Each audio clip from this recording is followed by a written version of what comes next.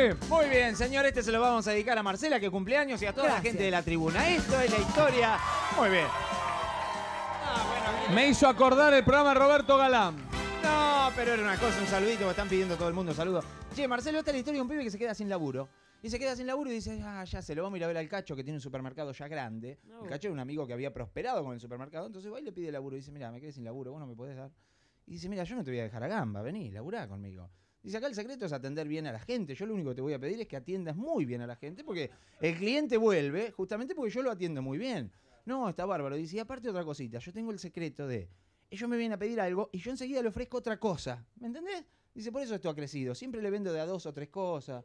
Ah, Qué buena táctica esa. Qué buena táctica. Dice, está bárbaro, pero no entiendo nada. Dice, espera, espera que entre alguien y en eso entra una señora. Dice, espera, déjame atenderla a mí y a ver si vas aprendiendo. Dice, ¿qué tal? Buenas tardes, señora. Hola, ¿qué tal? ¿Cómo le va, don Cacho? Bien, bien. Dice, sí, dígame. Dice, ¿no tiene un limpiavidrio? Sí, cómo no, acá tenemos. Sírvase, ¿no quiere más nada? No, nada más. Dice, ¿por qué no lleva un lustramueble? No, no me hace falta un lustramueble. Y, pero señora, ¿sabe lo que pasa? Si usted limpia los vidrios, los vidrios se van a ver relucientes en la casa. Y los muebles van a parecer sucios. En cambio, si usted lustra los muebles, queda toda la casa pipí cucú. Dice, ¿sabe que tiene razón, Cacho? Deme un lustramueble. Y ahí nomás le encajó el lustramueble, cobró y se fue.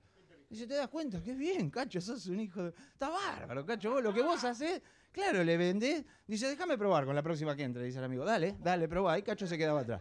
Y entra una señora, ¿qué tal? Hola, ¿qué tal? Buenas tardes. ¿Cacho no está? No, no, atiendo yo. Dice, Cacho está ahí, yo soy el nuevo encargado, ¿cómo le va? Sí, dígame. Dice, discúlpeme, ¿tiene toallitas femeninas? Sí. Sí, ¿cómo no? Dice, va y le da toalla femenina. Dice, sírvase.